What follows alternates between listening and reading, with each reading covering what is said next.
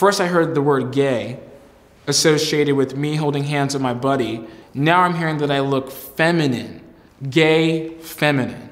I'm hearing these two words from angry men. From that point, after that happened, I was, I put it in my head, I was like, I have to be as like, as not this as possible. So can you talk um, a little bit about how you feel right now?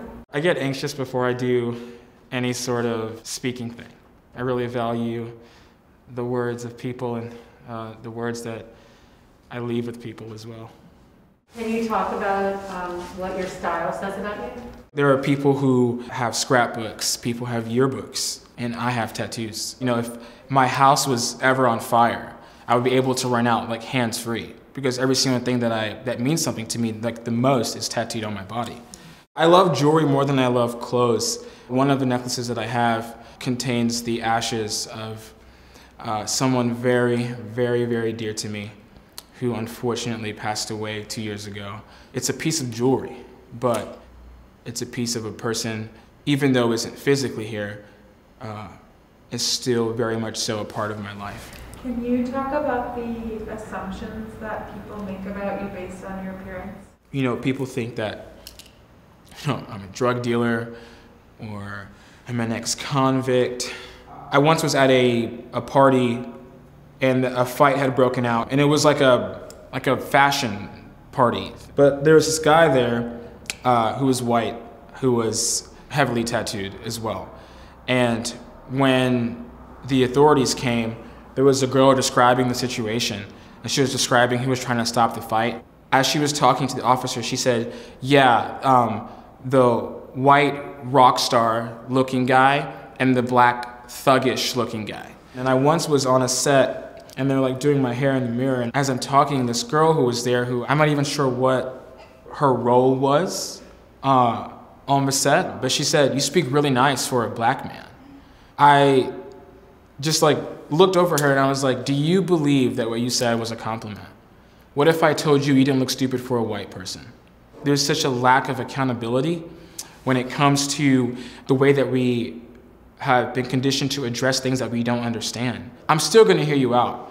Because if I spend my entire life listening to people who only agree with me, I'm not gonna be able to grow. But there are definitely certain things where it's, it's beyond like a disagreement for me personally, when it comes to trans rights, I'm not having a conversation with you. I'm not going to debate with you human life that is here and valid. Can you take off whatever you want to take off? Yeah. Like about your tattoos and like and like what they mean to you and kind of your journey with that. When I first started getting tattooed, I was an addict and I was a teenager and there were friends of mine who were passing away or uh, were killed for being in the wrong place at the wrong time with the wrong people. And I started to get, you know, pieces to commemorate these lives. I was living in Florida at the time. I was aggressively bullied. It was a pretty white school. I got the shit beaten out of me by guys who I uh, called friend. Half of it also stemmed, you know, from my struggles of not coming out yet. Because there was this other being who was also me, who was trying to breathe, and I was suffocating him. And I remember I played Little League Baseball when I was like seven, eight years old. There was this kid on the team. We were like super close. We would go in and out of the dugout holding hands. The assistant coach and his dad pulled us aside and said that we can't hold hands walking out of the dugout for the games in my little mind, I was like, oh, they must want us to be like prepared.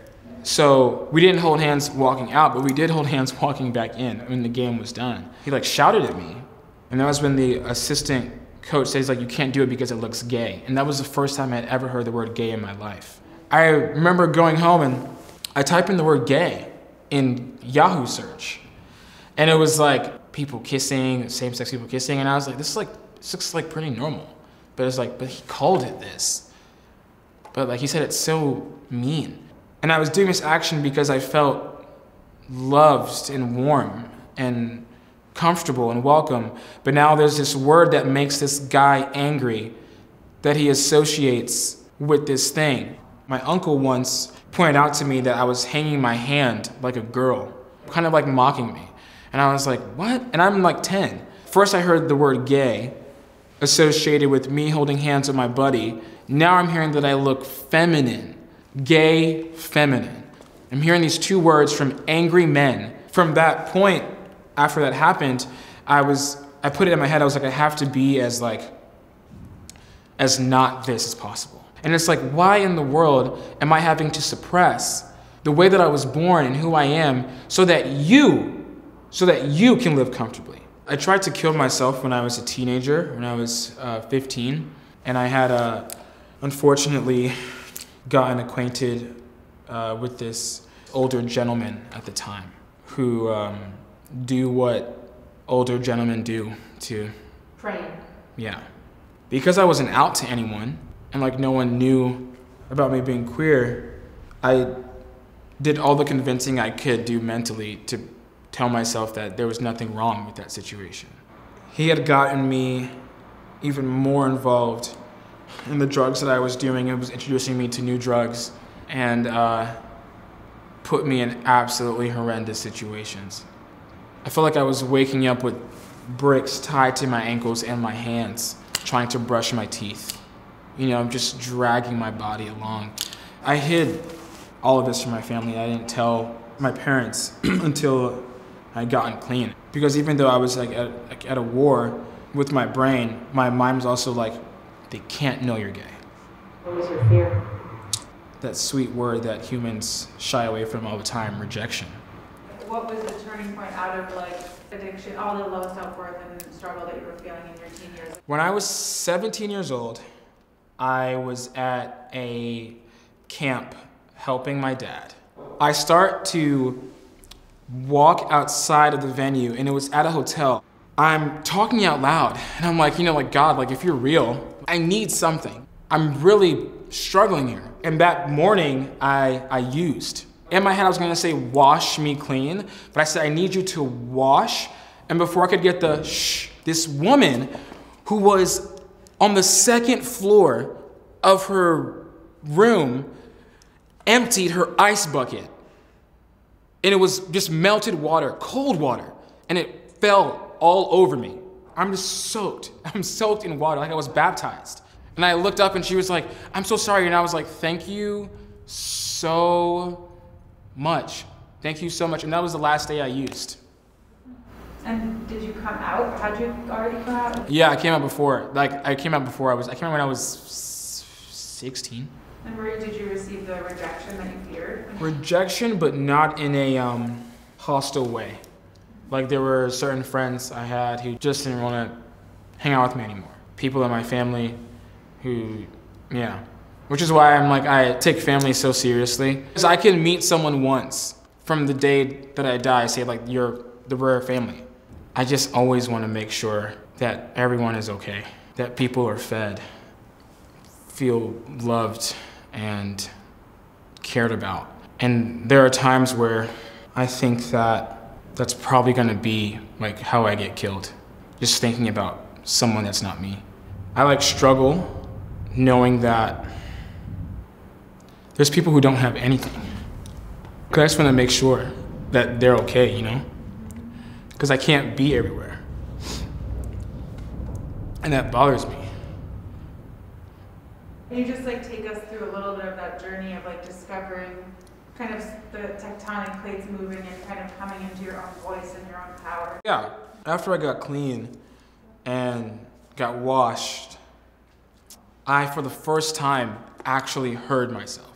And so I began uh, volunteering in my neighborhood, going to uh, youth groups to speak and talk about um, what my life was like as an addict. At that time in my life, I had lost 10 to 15 of my friends from drugs. And so when I would go to these schools, I would bring a photograph of all of my friends. You know, a lot of times when we talk about addiction, we talk about the drugs that we used and um, where we used them, but we never talk about the people we were with. Even as recovering addicts, you're only associated with like this one part of you. I got introduced to social media, and a friend of mine, she was murdered, she's trans, I posted about her as a Woman Crush Wednesday, like a memorial post. And then I got people messaging me and telling me like, you know, thank you for doing this. A friend of mine who was trans was killed uh, last year. And it was borderline impossible to find any information where she wasn't misgendered. If I was disrespected, mistreated, and not acknowledged in life, my spirit would be at such unrest if I was treated the same way in death. I started to make these posts remembering these lives that are being taken the way that they wanted to be remembered while they were here. Sometimes when someone has been killed, especially if they don't have like a family member to come and identify the body, it just, I mean, it's just, they don't even care. But it's like, I'm their family. That's my family. Oh, like, what was, what was her real name? There is no such thing. Her name is what she said it was. Am I even just making a post about someone I don't know? It's a post about myself because we are, we are the same. Can you talk about your current forms of activism? So for the past four years now, I had been going to this uh, senior center um, on Canal Street to uh, provide and feed seniors of New York City. There's this amazing organization called Streetwork Project, and we provide uh, wigs and makeup for um, LGBTQ kids uh, who live in shelters here in New York. The other parts of the week would involve me working at the animal shelter. So when quarantine happened, all of these things, I couldn't do them. I was really struggling because volunteering also helps me stay clean. When, I like to call it the awakening, happened to a select million number of people um, took off their glasses and wiped the fog off and put the glasses back on. They were just like, they're still killing black people. And so after uh, a little under a month of attending protest here in New York, I went into my savings account.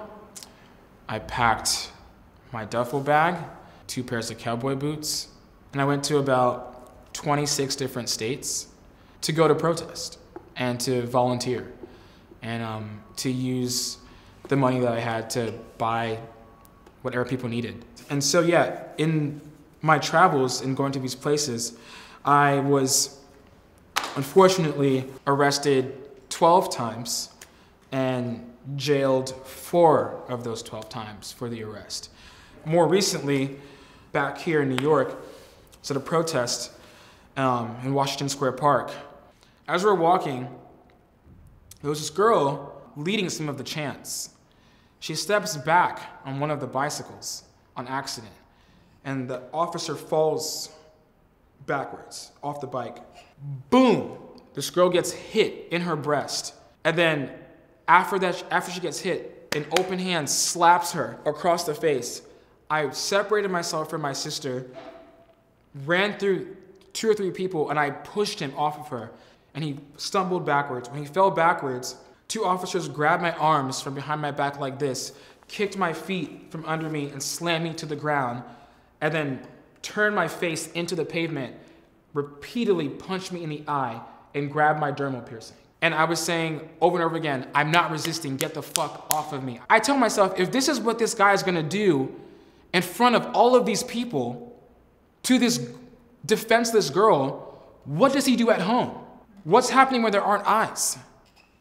Yes, people are setting fire to targets, but imagine 400 years of being in an abusive relationship with the same person. Imagine dating somebody for five years and they're beating the shit out of you, but they also feed you.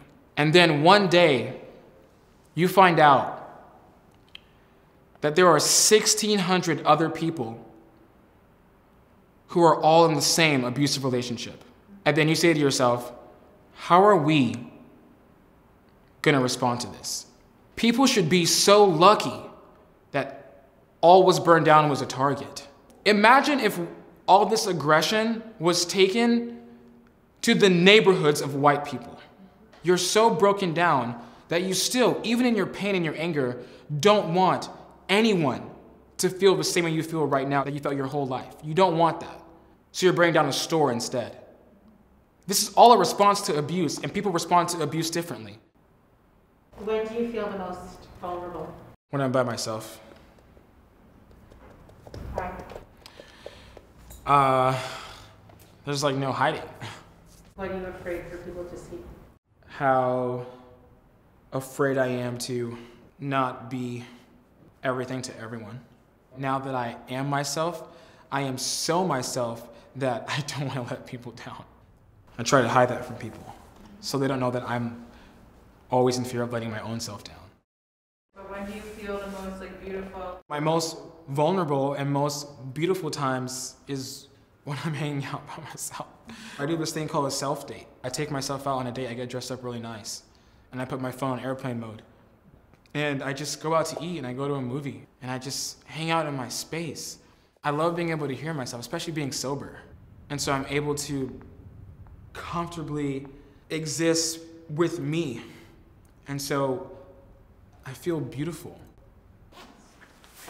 Why in your body, in your skin, in your journey, why is it a good place to be? Because it's important for not only others, but for myself to see that I survived and that it is possible to survive. But also, um, surviving doesn't mean that you're living, but I'm doing both. I'm so blessed to say that. That's beautiful. Thank you so much. This was absolutely of course. amazing. Thank you so much. It was really like incredibly powerful. We knew it was going to be. And Wow, thank you.